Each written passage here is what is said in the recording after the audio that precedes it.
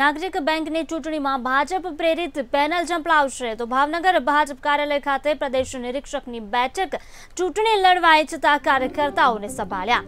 ત્યારે બેંકમાં વર્ષોથી કોંગ્રેસ પ્રેરિત પેનલનો દબદબો છે. આજે ચૂંટણી લડવા ઇચ્છુક કાર્યકર્તાઓને સાંભળ્યા હતા. ભાવનગરની વાત કરવામાં આવે કે જ્યાં ચૂંટણી લડવા ઇચ્છુક કાર્યકર્તાઓને સાંભળવામાં આવ્યા.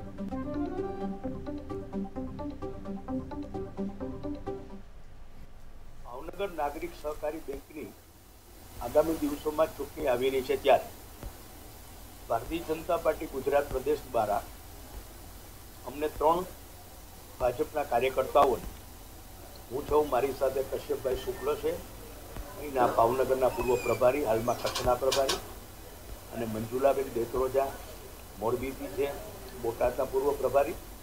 અમે ત્રણ લોકો અહીંયા આગેવાનોને મળવા અને કોઈને ચૂંટણી લડવી હોય તો એને સાંભળવા માટે આવ્યા છીએ.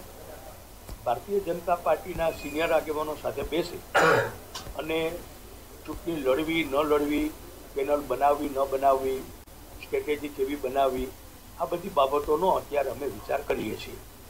અમારે વિચારધારાના અંતે એક પાર્ટીને અમે રિપોર્ટ મોકલશું પ્રદેશ ભાજપને.